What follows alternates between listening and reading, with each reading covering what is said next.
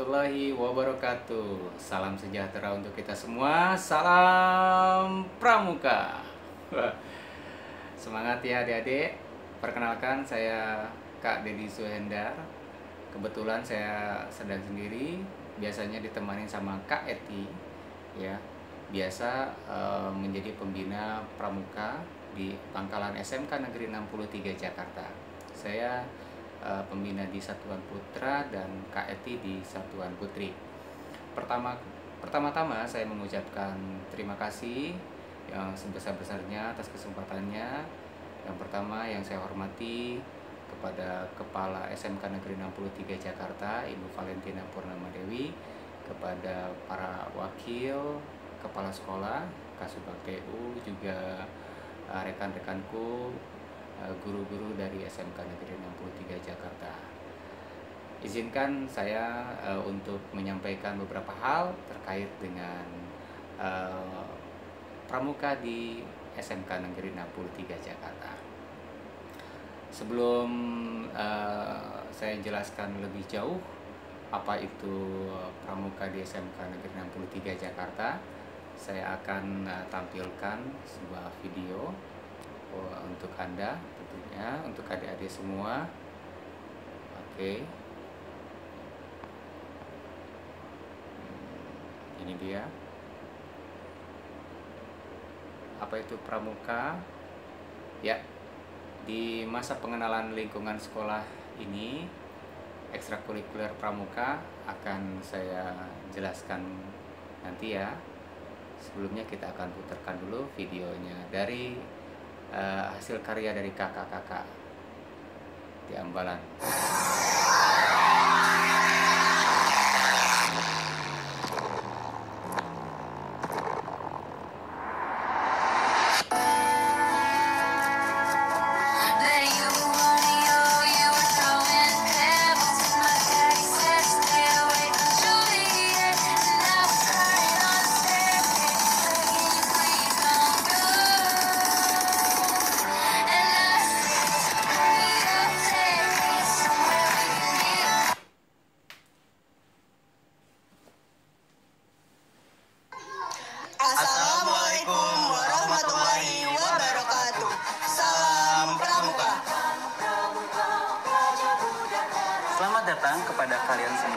Yang telah diterima sebagai siswa dan siswi di SMK Negeri 63 Jakarta.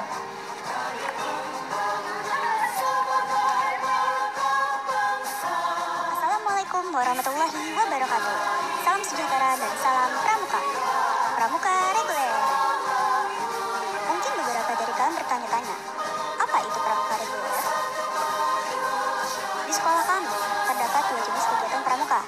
Yang pertama adalah pramuka aktualisasi dan yang kedua adalah pramuka reguler. Pramuka aktualisasi adalah ekstrakurikuler yang wajib dilaksanakan oleh setiap siswa yang dilakukan setiap hari Rabu pagi. Sedangkan pramuka reguler adalah merupakan kegiatan sukarela berbasis minat peserta didik yang dilaksanakan di gugus depan SMK Negeri 63 Jakarta.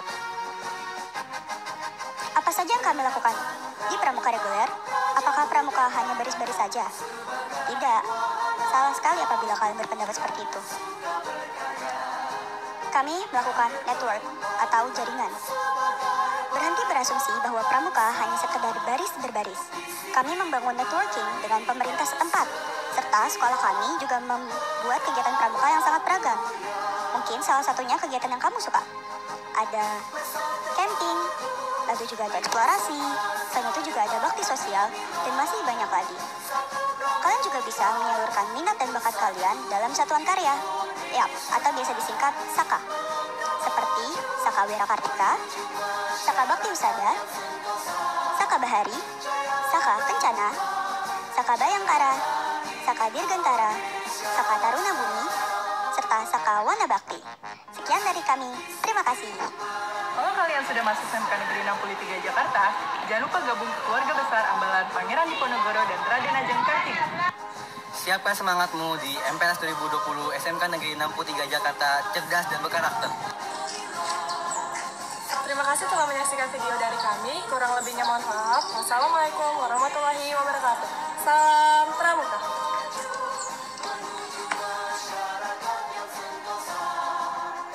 Oke, stop. Nah, jadi ini eh, infonya adalah yang satu yang putranya itu Kak Ikhwan, yang satunya lagi Kak Maul.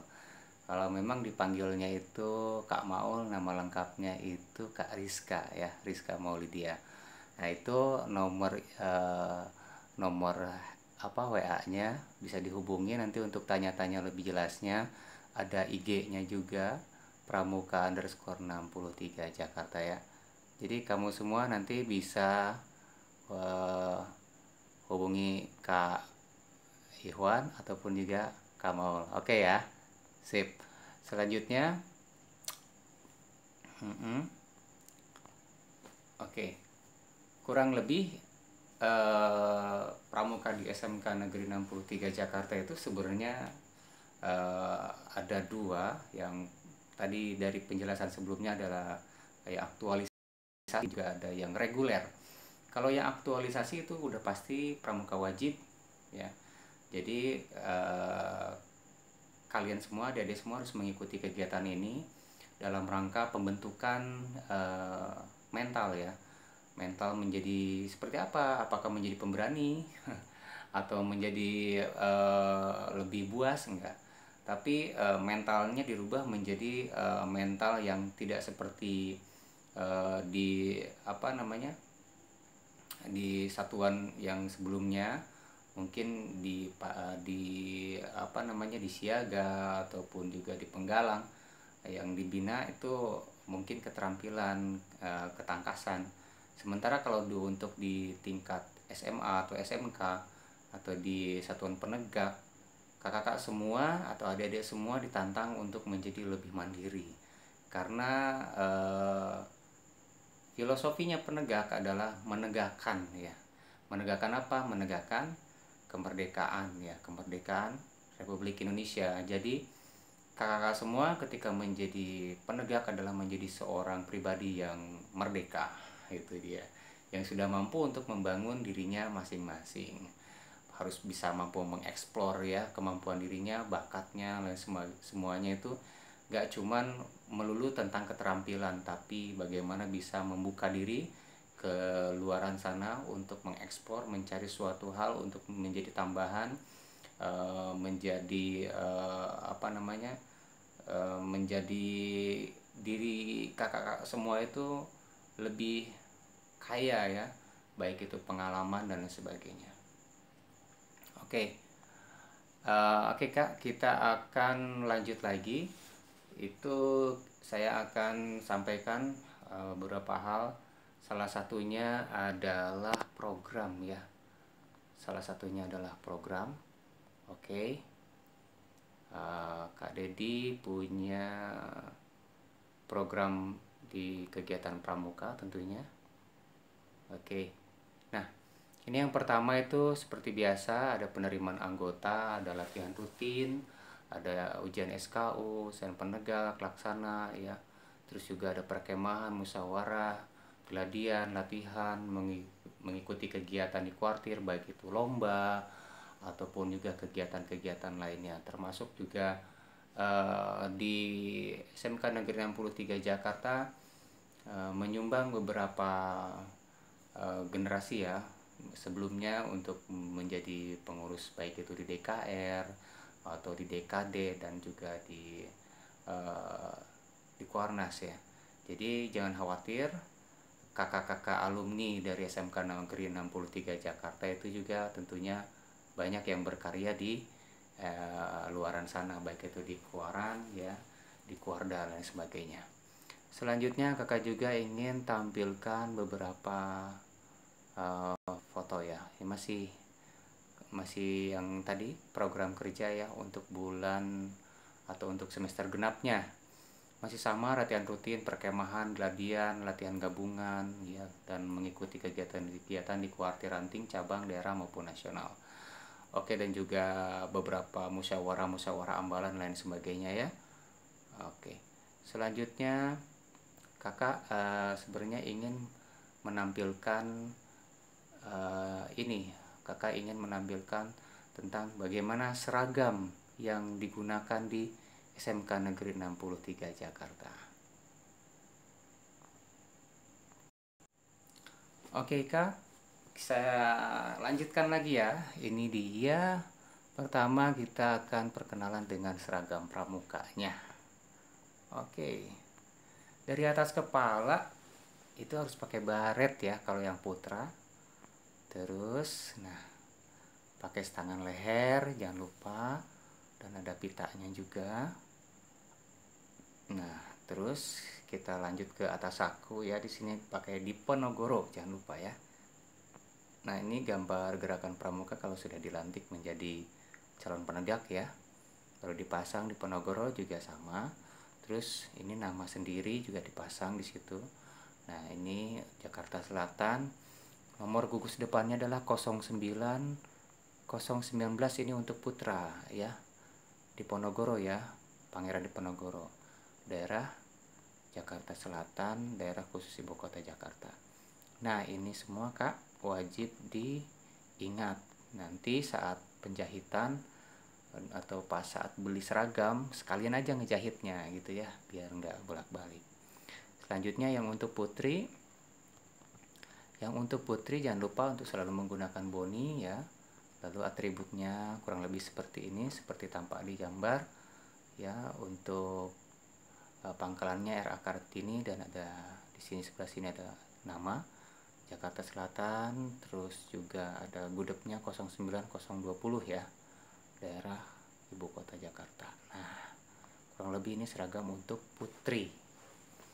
Nah kalau sudah uh, mengenal apa apa namanya Eh, baik itu seragam putra maupun seragam putrinya. Jangan lupa nanti berseragam rapi.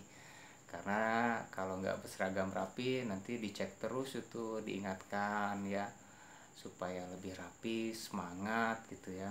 Dan berpramuka juga nggak cuma pakai pakaian tapi berpramuka itu juga ingat filosofinya adalah menjadikan jiwa pramuka itu melatih adik-adik semua menjadi lebih uh, terampil ya menjadi lebih mandiri tanggung jawab sopan ya santun setia gitu kan. Dan selalu bersemangat tentunya. Di 63 ada nyanyi-nyanyi juga? Ada nyanyi-nyanyi. Bahkan diusahakan kakak-kakak semua nanti yang menciptakan lagu sendiri ada flash mob ada kegiatan ini ada semua Nah, di penegak ini kegiatan adalah membuat ya. Jadi membuat kreasi sendiri. Jadi udah nggak pakai-pakai dari luar, tapi semuanya kreasi sendiri. Jadi menjadi lebih kreatif nanti ketika bergabung di Pangkalan SMK Negeri 63 Jakarta. Oke, lanjut untuk pertanyaan lainnya tentang aktualisasi. Aktualisasi pendidikan dan pelatihan kepramukaan normal seperti biasa per tahun ya sampai dengan kelas uh, eh, 11 nah kalau untuk yang reguler itu panjang ya dari mulai cagak terus juga bantara laksana sampai ke penegak pandega bisa tentunya adik-adik semua berkarya di Pangkalan SMK Negeri 63 Jakarta. Kakak tampilkan lagi foto-foto lainnya ya Oke, dari mulai mana ya kira-kiranya? Oke, dari sini saja. Iya, ini dia kegiatan-kegiatan upacara-upacara ya, pelantikan-pelantikan. Ini sedang ada upacara pelantikan Dewan Ambalan ini biasanya. Dewan Ambalan e, setelah musyawarah Ambalan nah, itu diadakan pelantikan untuk pengukuhannya ya. Nah, lanjut lagi. Nah, ini di sini kita lihat banyak anggota yang belum menggunakan setangan leher ya. Nah, ini biasanya cagak atau calon penegak, biasanya untuk kelas 10. Dan yang sudah menggunakan setangan leher seperti Kak ini nih. Uh, ya, Kak Wahdini ya. Nah, ini sudah jadi bantara tentunya. Oke. Okay kita lanjut lagi. Ini adalah proses pelantikannya ketika menjadi seorang calon penegak ya. Mm-hmm. oke lanjut lagi. Nah ini kok lagi ngapain? Ini lagi buka-buka kertas gitu. Ini sertifikat ya kak. Ini sertifikat antara jadi kalau Bantara di 63 Jakarta itu SKU-nya resmi ya lengkap teruji dan ditandatangani dan juga memiliki sertifikat. Jadi nggak ada yang abal-abal. Oke selanjutnya kakak tunjukkan saat pelantikan. Nah ini salah satu pelantikan Bantara ini yang mengantar nih. Ya pendamping kanan dan pendamping kiri yang tengah sedang akan dilantik nih yang tengah. Ini Kak Panji nih yang tengah nih. Nah yang tengah ini mau dilantik ini yang nganter nih kanan kiri. Jadi dilantik sendiri juga bisa ya. Karena di reguler ini tentunya kita menggunakan uh, asas pramuka yang sebenar-benarnya.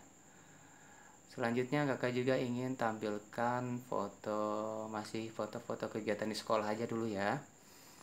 Ini foto-foto kegiatan di sekolah. Oke. Nah ini. Ini lagi kepada ngapain? Ini di sekolah ya di 63 nah ini kakak ini kakak bantara nih. Ini sedang menuju untuk menjadi laksana. Ini sedang ngasih materi diskusi ya bersama uh, adik-adiknya itu ya jadi di sini dilatih menjadi lebih mandiri lebih berani gitu kan. Mm -mm. jadi yang mau belajar public speaking bisa di sini yang lebih bagus. Nah ini kegiatan di kelas. Jadi kakak-kakak ini uh, bisa menjadi tutor sebaya juga kan? Nah ini jadi bisa Eh, belajar bersama belajar kemandirian belajar berani belajar bertanggung jawab belajar tidak malu confidence lah lebih percaya diri. Selanjutnya kakak juga ingin tampilkan foto lain lagi. Nah ini dia. Ini ngapain nih? Ada makan-makan minum-minum. Ini lagi rapat sebenarnya ya. Ini lagi rapat. Nah ini ini bukan lagi karaoke ini lagi rapat ya. Lagi rapat udah beres rapat udah ada makanan biasa sambil makan nanti. Jadi rapatnya rapat senang-senang ya. Senang-senang itu gini jadi nggak serius tapi santai gitu ya. Relax gitu ya. Oke lanjut lagi saya kakak nah ini dia. Foto widescreennya untuk satu satu pangkalan ini ya satu pangkalan ya panjang banget ini. Nah ini satu pangkalan. Pangkalan SMK Negeri 63 Jakarta. Oke selanjutnya kakak juga ingin menampilkan foto. Ini foto apaan nih? Nah ini foto sedang mengikuti lomba pioneering ya. Sebenarnya ini materinya masih materi penggalang Tapi ya namanya juga lomba ya kita ikutin aja Oke selanjutnya ini masih lomba PBB ya ya panas-panas. Oke lanjut juga ini ada lomba flash mob. Ini bisa sampai pulang sampai malam ini seru-seruan ya. Bisa ketemu sama banyak sekolah di Jakarta Selatan kumpul gitu ya. Uh, mengadu kreativitas. Dan ini salah satunya. Nah ini oke. Okay ini diabadikan setelah selesai. Lalu lalu lalu kakak juga ingin sampaikan kegiatan ini. Iya. Ah, ini kegiatan apa? Ini di sekolah.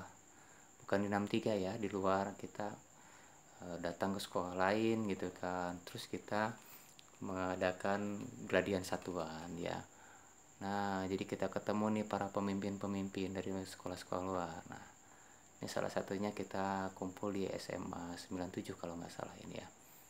Oke. Selanjutnya perkemahannya bagaimana nih? Kalau perkemahan gambarnya kita pilih yang gelap-gelap. Lagi makan lagi ya lama-lama bisa gemuk ini. Ini lagi pada makan di tenda putri ya. Oke seru ini makan belajar masak. Ini masaknya belajar masak sendiri bener-bener masak. Kita nggak pakai catering nggak pakai nasi box apalagi go food ya. Jadi ini kakak-kakak uh, semua di sini kalau udah gabung nanti belajar masak. Masak nasi masak telur masak sayur masak air. Masak air ya.